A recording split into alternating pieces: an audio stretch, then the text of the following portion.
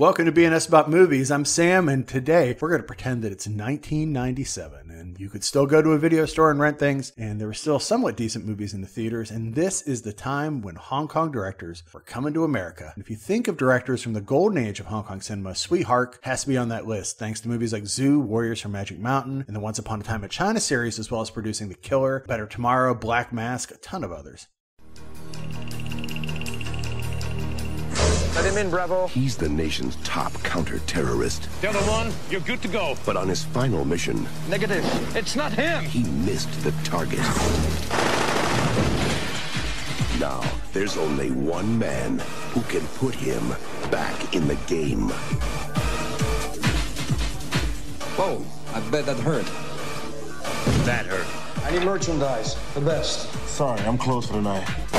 You're open now. A world-class arms dealer Did you open that? Yeah. with a flair for destruction. I don't know, man. I look at you, I see nothing but trouble. What the hell? So in the 90s, remember we're in the 90s, instead of continually stealing from Hong Kong movies, Hollywood decided to go right to the source and work with some of its most well-known directors. Hark also made another Van Damme movie, Knockoff, which starred Rob Schneider. Oh boy.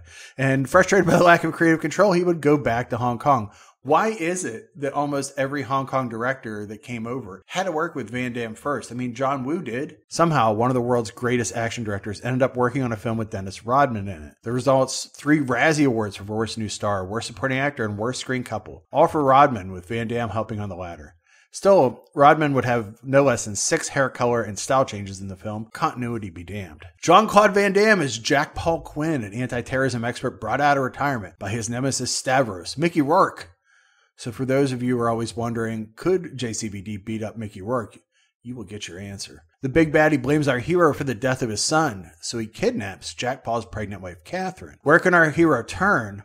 To one man, arms dealer Yaz. Rodman is Yaz, who has weapons so new he doesn't even know what they are. Great salesman. What Stavros doesn't know is that Jack Paul tried to stop the mission that killed his son, but it doesn't matter. His failure to stop him led to him being placed in the colony, which is just like the TV show The Prisoner, and it's used to keep agents too valuable to kill, but too dangerous to set free. So they all work towards monitoring terrorist threats and to keep from the rest of the world and their families because you know it's spy business. So while Jack Paul is in the colony, his handler is Alex Goldsmith, Paul Freeman, Belloq from Raiders of the Lost Ark. And when Stavros ends up kidnapping our hero's wife, Yaz helps him find his enemy and battle him in the bomb rigged Roman Colosseum. It's actually the Arles Amphitheater in southern France, but you know, who cares?